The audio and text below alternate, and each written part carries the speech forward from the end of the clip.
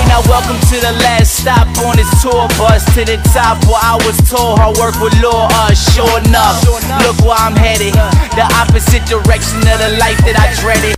Alright, before I start this video, it was like a sad subject, and I wanted to let you guys know. I know there's a lot of pictures out there of this guy actually falling, but I thought that was just wrong to put the picture, so I just put a general one of them looking down, not him falling. That's just, it, it's gross.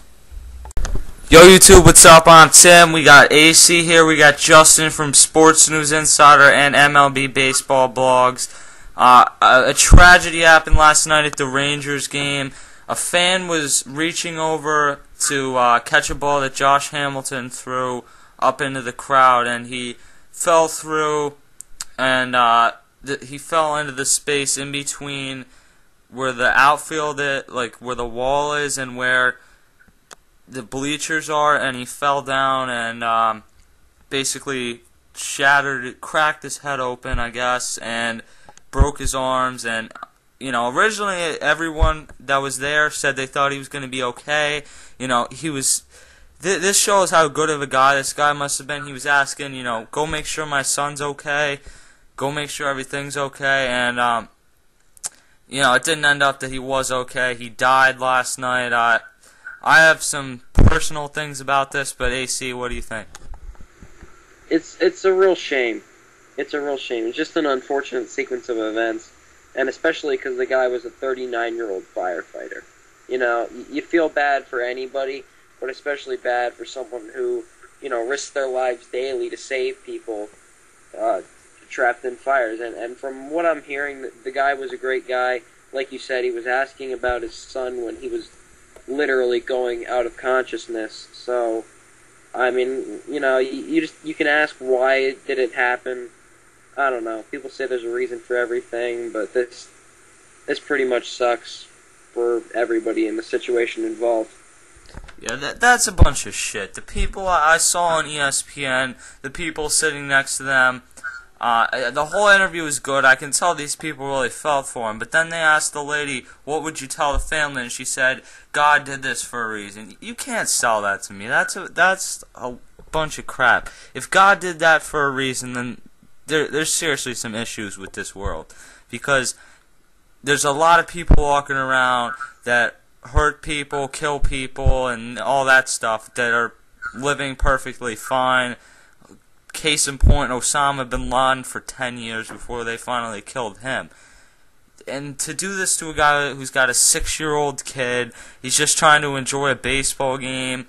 He was a big Rangers fan. He reaches over to catch a ball for his son so he can give his son a ball. He had just bought a new glove for his son right before the game. And uh, for the son to be there and like have to watch all this happen, it, it just it sucks. It really does. Justin, what do you think, man? Man, I I was actually once I heard about this, I was actually on Yahoo.com. I was checking my emails, and all of a sudden, I read the blog on Yahoo Sports, and I was just shocked. I mean, a young kid losing his, his father at his age, it's going to be hard for the rest of his life. That's all I have to say in this situation right now. Yeah, like I, I can't imagine that happening. I really can't. I've had people, including my dad, get really, really sick, but never die, obviously. And it just that that sucks. And I, I almost feel like a dick for a lot of reasons because I had a huge head injury last year. I got hit in the head with baseball. I know AC's heard this story about a thousand times now, but it's it involves this story. I got hit in the head with a baseball, and I, I had everyone thought I had a concussion. I ended up having this brain hemorrhage thing where your brain bleeds and I missed all my sports for like a year, which is why I did so many shows last year. And you know, I thought this is the worst thing that could possibly happen to me.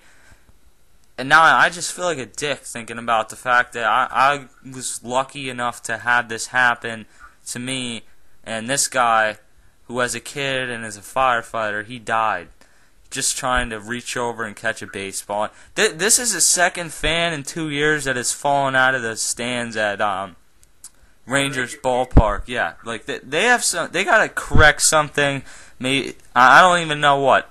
This was just a freak accident, though. I mean, I was watching the thing on outside the lines today, and they said, you know, who, what could be, what, what could have done, been done to prevent this? There, there's nothing. The the ball was hit through the left field. The ball girl missed it. It hit the wall. It kicked over to Josh Hamilton, and he said he was just thinking about, I'll give it back to the ball girl. But he had remembered the time before when it was hit to him. The dad had said something, you know, throw it up here, and um, he he said, okay, next time I'll throw it up there, and he did, and it just wasn't a good enough throw. I mean, I can't imagine going back out to left field if you're Josh Hamilton. I don't. I, I don't know, man. It's just. It's a terrible situation. Uh, Hamilton has to feel bad. I mean, none of this is his fault, and if anybody even uh, implies that it's his fault, they're they're an a hole. Um, but that's another story for another day. Um, you can't fault Hamilton.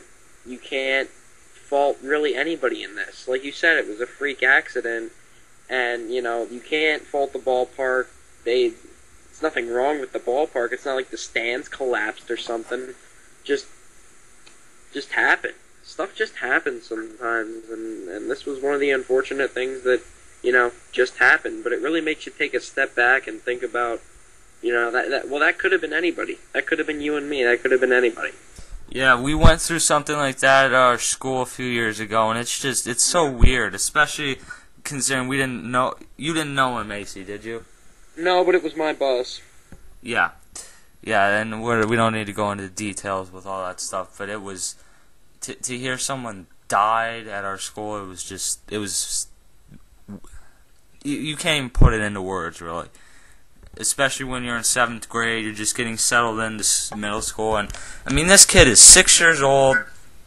This was a rainout game, and the fans next to him had said how excited he was to be there, to be with his dad, and you know, and they said he was screaming for his dad. He wanted, obviously, and I, I don't think anyone would blame him for that. They wanted to know it was okay with his dad, and now he'll never see his dad again. I just, I it's not right. It's not fair what happened here. And does anybody else have anything to add?